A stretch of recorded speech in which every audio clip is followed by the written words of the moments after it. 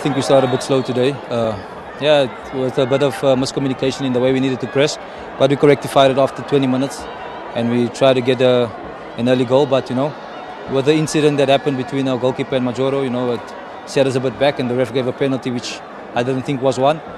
But then we regrouped and we kept on going.